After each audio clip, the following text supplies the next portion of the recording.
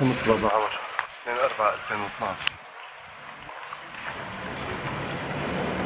الشارع الفاصل بين حي الإنشاءات وحي بابا عمر. آثار الدمار والتخريب والتدمير. بعد اقتحام عصابات بشار الأسد لهذا الممر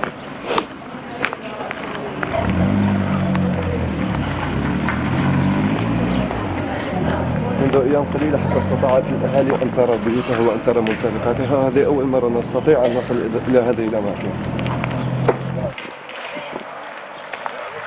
كما قامت بشار الأسد بوضع حاجز إسمنتي على ارتفاع ثلاثة أمتار لقطع أوصال الحي عن بعضه وعن حي الإنشاءات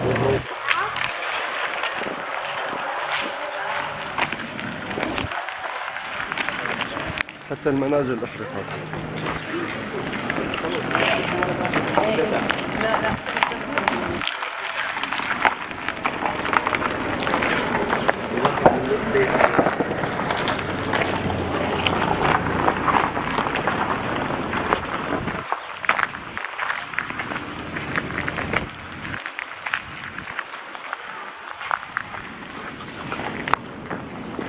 هذه حتى غرف الكهرباء لم تسلم لم تسلم من بشار الأسد وعصاباته المجرمه